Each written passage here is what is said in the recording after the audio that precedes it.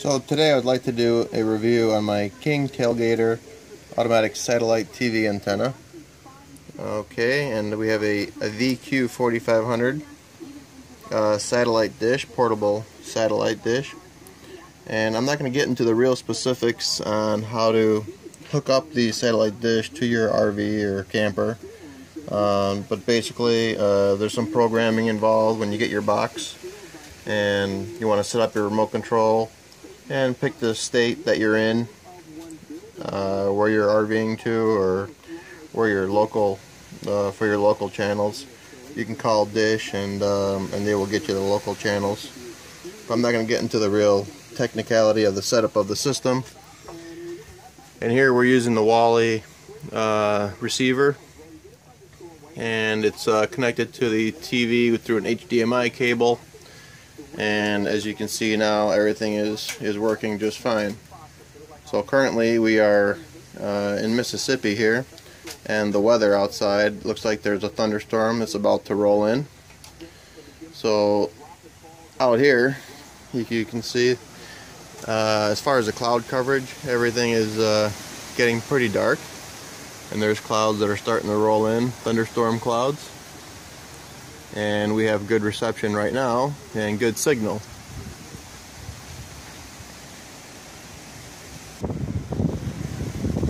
So since we're expected to get some 40 to 50 mile an hour winds, uh, I actually have this thing up on the roof right now. I mean it's portable and you can put it wherever you'd like. Uh, I seem to get some pretty good reception up, up here instead of leaving it in the grass.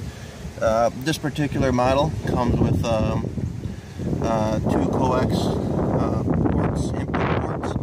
Um, this one here is just a blank, just a blank cap, and my main antenna is plugged in to that. But it's good to uh, operate two different receivers. And it comes with a 50 foot coax cable where you can place uh, wherever you want, uh, further away from the rig, you know, or your camper uh, where we get better better signal. This particular situation here, I have, like I said, it's up on the roof, and I actually have a tree right here next to the camper, and we're still getting pretty good, uh, pretty good signal. So the rains are starting to pick up a little bit, and pick up, uh, and it's definitely uh, a lot of cloud coverage and on the outside of the uh, on the RV, I have um, this side I have labeled going to the inside, uh, coax to the inside near the TV, and this side here goes to an outside plug, uh, which is for like an outside TV on the other side. But this one goes to the inside, so I don't have a cable going through my window or through a door. Uh, I just have the cable going directly from the from the satellite dish right right to this area here, and then this area is closest to my TV on the inside. Well, here comes the rain, and you can see that the raindrops are falling, and high winds are blowing. A lot of people say you get bad reception, you know, under cloudy conditions or thunderstorm skies. So that's the reason for my test here. I just want to put tailgater through the test today. So the back of the receiver is pretty simple connections. There's a HDMI plug that'll go from the back of the receiver to the to the TV, and there's the uh, that outside uh, coax plug uh, feeds through the through the unit and it comes into this area. So I just plugged the receiver into here, and and this is where we get our picture here. And one reason I picked the uh, the King Tailgater, it did have some pretty good reviews, um, but I like that it's portable.